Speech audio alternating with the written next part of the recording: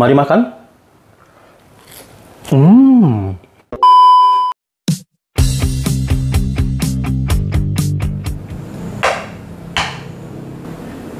Assalamualaikum warahmatullahi wabarakatuh. Salam buat semua kawan-kawanku di mana pun berada. Jadi hari ini saya akan membuat olahan kentang. Ya, hari ini saya akan membuat kroket kentang. Cara bikinnya sangat simple, hasilnya sangat enak. Step pertama di sini saya sudah siapkan ada dua butir kentang seberat 500 gram. Jadi sekarang kentangnya kita kupas dulu lalu cuci bersih.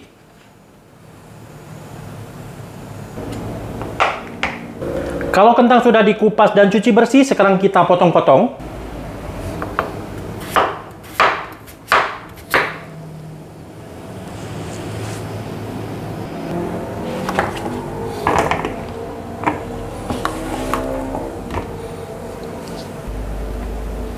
Langsung aja kentangnya kita kukus atau direbus sampai empuk.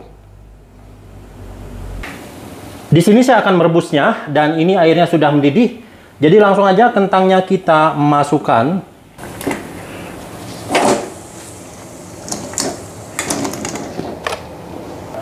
Kentangnya kita rebus sampai empuk. Oke, kalau kentangnya sudah matang ya, ini udah empuk banget. Sekarang langsung aja kita angkat. Kita tuang ke mangkuk ya. Lalu kita haluskan.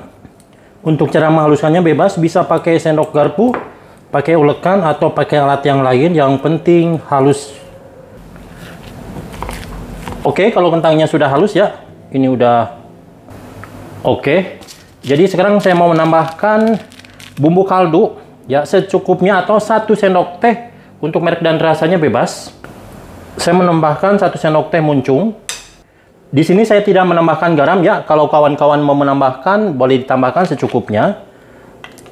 Saya akan menambahkan satu sendok teh bumbu apa ini bawang putih bubuk dan ini ada setengah sendok teh merica.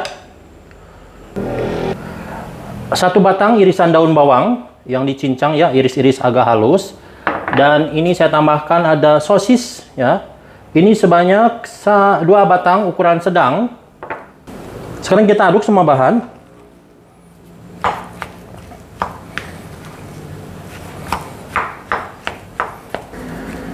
Oke, ini udah tercampur ya. Di sini saya akan menambahkan ada satu saset. Ini saya akan memakai cornet ya. Cornet beef yang ukuran 50 gram atau satu yang sasetan ya. Ini opsional, kornet bisa diganti dengan uh, daging ayam atau daging sapi cincang juga oke okay, ya. Jadi saya akan masukkan satu bungkus.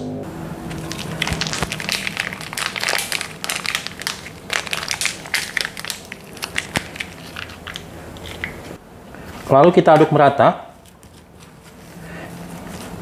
Ini kornetnya itu udah agak asin ya, jadi jangan saya makanya saya tidak menambahkan uh, garam.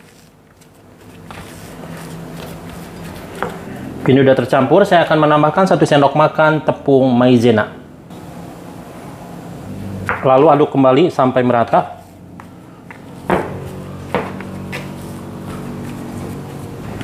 Kalau kentangnya sudah tercampur merata dan udah kalis ya, sekarang kita siapkan bahan berikutnya. Sekarang kita siapkan satu butir telur. Ya, sebenarnya ini nanti kalau kurang bisa ditambah telurnya. Ini satu butir. Lalu tambahkan 5 sendok makan air. Penambahan air ini biar banyak ya, biar tidak terlalu boros. Karena telurnya berkat aja, jadi kita kocok telurnya. Oke, udah cukup. Lalu siapkan juga ini ada 2 sendok makan tepung terigu.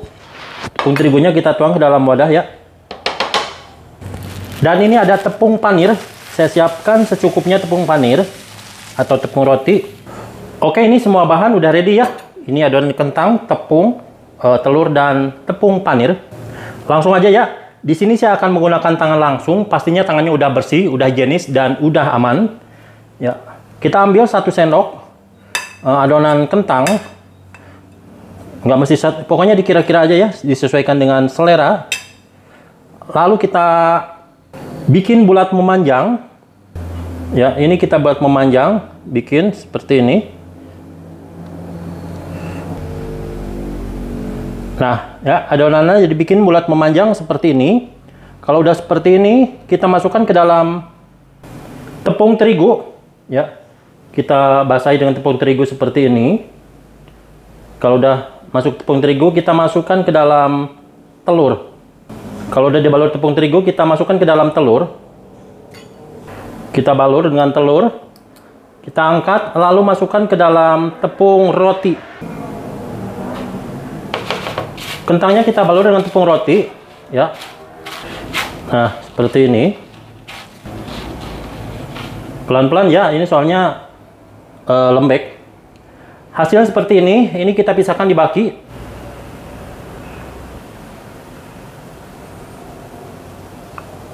Oke, ini udah selesai ya penepung panirannya.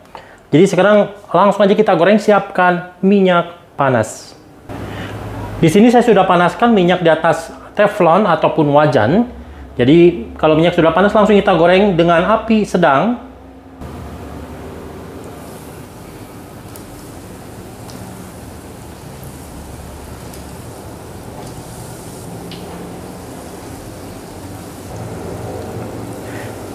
Di sini saya nggak akan goreng semua ya, saya goreng sebagian aja atau setengahnya.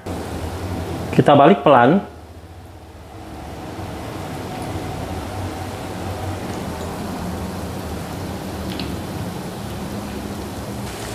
Jadi kita menggorengnya jangan terlalu lama ya. Kalau luarnya sudah garing, langsung aja kita angkat.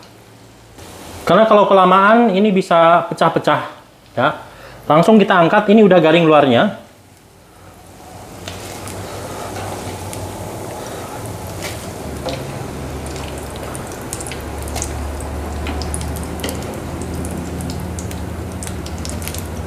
Oke, ini kita tiriskan dulu ya.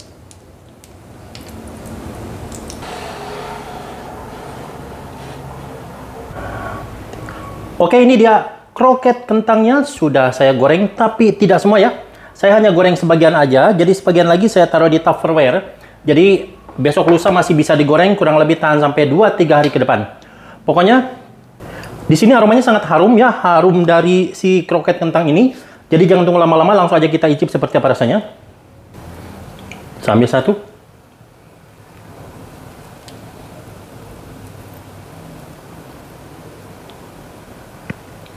Mari makan. Hmm. Wow. Rasanya enak banget. Dalamnya melting, super lembut, meleleh. Luarnya garing. Aromanya sangat harum. Harum dari kentang, kornet, dan daun bawang. Perpaduannya sangat pas. Hmm. Rasanya luar biasa. Ini sangat enak banget ya. Ini bisa jadi teman ngeteh, ngopi, bahkan jadi teman makan nasi. Ini sangat rekomendasi. Cara bikin sangat gampang, rasanya sangat enak, jadi sangat wajib untuk dicoba. Oke kawan, untuk video kroket kentangnya sampai sini dulu. Pastinya saya akan bikin lagi video-video lain yang lebih menarik lagi. Oke, thank you, bye-bye dan ciao.